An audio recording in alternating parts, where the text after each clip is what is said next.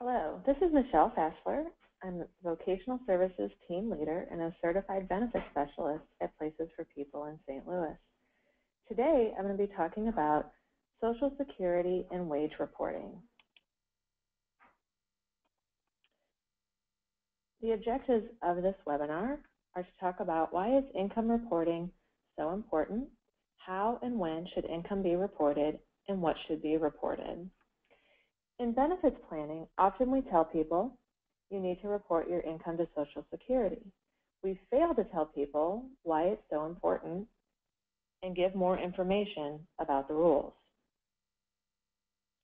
We also know that one of the main reasons that people don't want to explore work is because they have misinformation about Social Security, and often the root of that misinformation is someone has told them a story about how they lost their benefits when they work, or they themselves lost their benefits when they worked, and often that has to do uh, with a wage reporting error and a resulting overpayment.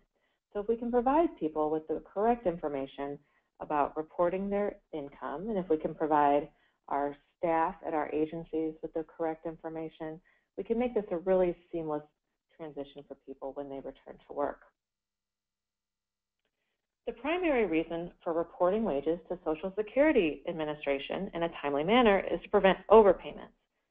So this minimizes, like I said, both our beneficiary and our staff time spent to correct issues.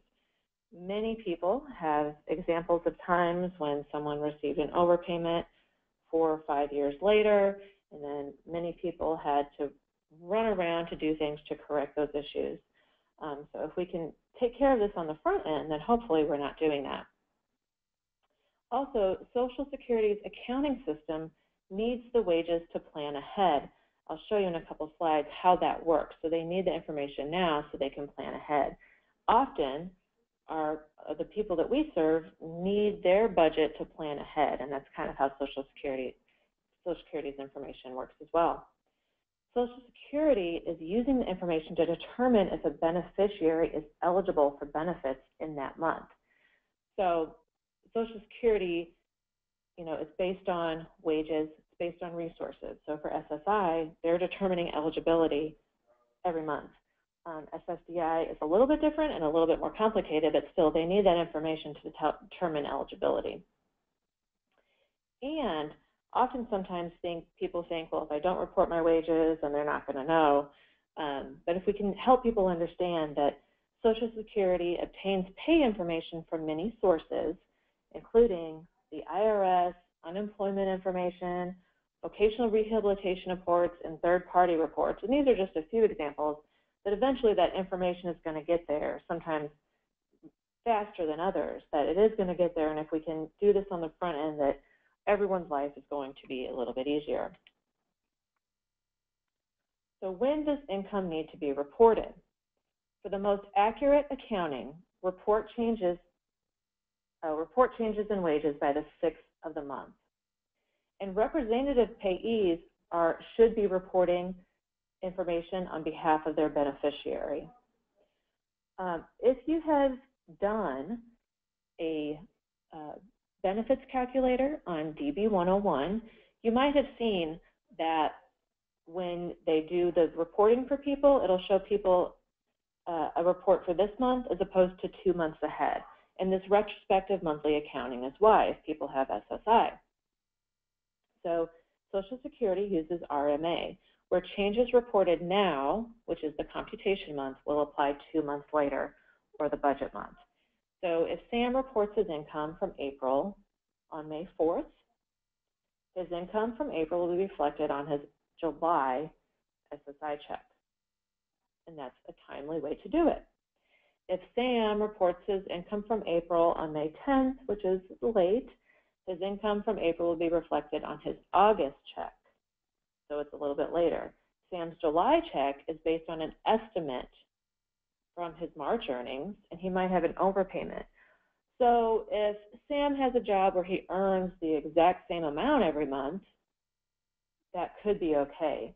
If Sam has a job where his earnings fluctuate, which is common for um, many people. Every month doesn't have the same amount of days if it's somebody who works um, different uh, hours.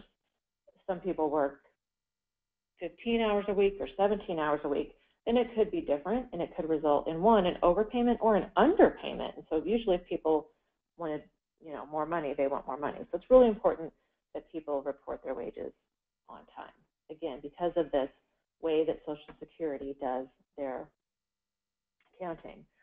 Now, also, this is why sometimes people get a letter two years later, um, and it will say, two years is a bit of an exaggeration, but later that will say you were not eligible for Social Security in this month because they get pay stubs that indicate that a person was not actually eligible based on their earnings.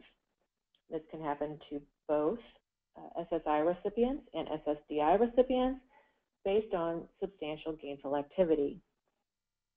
And if people aren't on don't know about that, don't have someone helping them with that, then that can mean that they can have to pay back full amounts, which could be very difficult for people. There are work incentives to help people remedy that, but it can be pretty distressing for people to get that letter.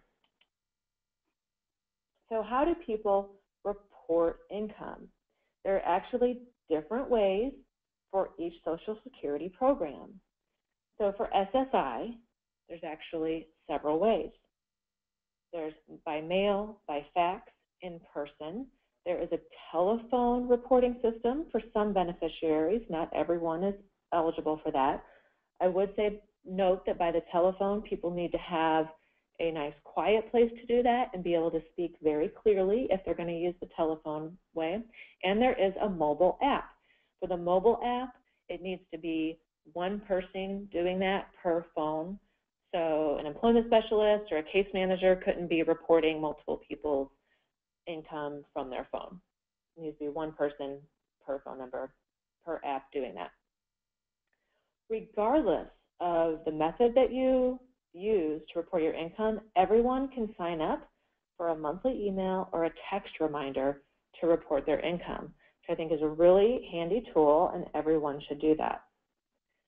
So I think it's important to remember too that a lot of times I hear people telling people they should do it one way or the other, and I think we should let people choose which way they want to do it because each of these methods has a benefit. So some people might like to go to the office and get the letter right back telling them what their next uh, SSI check is going to be, and we might not like the idea of sitting in the office for a long time, but some people might like getting that letter back. Um, so we shouldn't choose for people.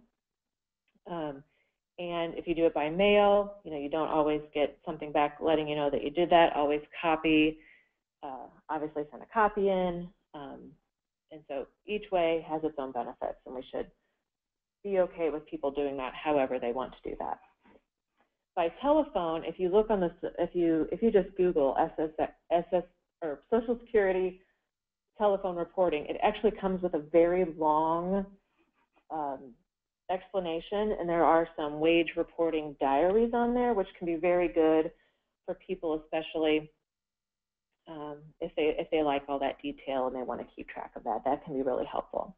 So SSDI actually has less options because SSDI is not as as important for people to report those wages every month because their amount is not changing, where in SSDI, they're getting the same check amount every month. That their amount is not changing based on their wages. So it's not quite as important to have as many options for them. Again, people with SSDI can still sign up for the text reminder or the email reminder.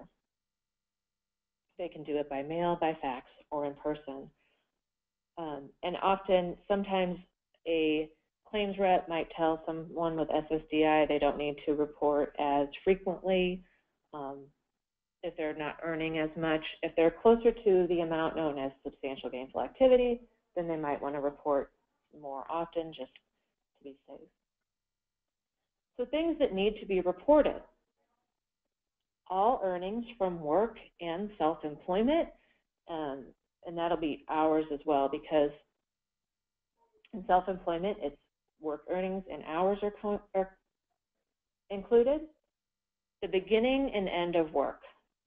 So you need to let Social Security know when you end work in writing is best. Um, if you have a final pay stub or something from your employer, the more documentation you can give them, the better, so that they're not estimating, again, so they're not estimating earnings from before uh, for your checks forward if, if you're an SSI recipient, or they're not counting a month of trial work if you're an SSDI recipient, so they're ending that as soon as possible. Change in your pay or work hours. So hopefully, if you're an SSI recipient, you're reporting that so they can see that. Um, you're not just letting them count those those other work hours. If you're SSDI and they've told you to only report three months. If you have a change, if you start working less or more, you're letting them know and you're not just waiting. Again, so they're not counting um, work months. Any items or services that you need to work due to disability and keep your receipts. So any items or services, these would be impairment-related work expenses, and this would help uh, in a substantial gainful activity determination. So this can really help people. And if you have any extra help that is received at work because of a disability. So if you have extra breaks or if your job is a little bit different than other people, if you do um, one part of the job you don't do because of your disability, this would be an employer subsidy. And this would also be a um, work incentive that would help with the SGA determination. And our, our people we serve can do this. Case managers can help people do this. Employment specialists can help people do this. But this is all stuff that we can do to help and then report because Social Security is going to make the final determination on this, but we can help people organize all of these things. So just to wrap up and review, reporting wages to Social Security in a timely manner is important to ensure that people are receiving their correct benefits each month because it's important much easier if we do that in the beginning than having to follow up and do that later. Wages should be reported by the sixth of the month for proper accounting. It helps Social Security and it, it helps us. Represented payees should report on behalf of their beneficiary.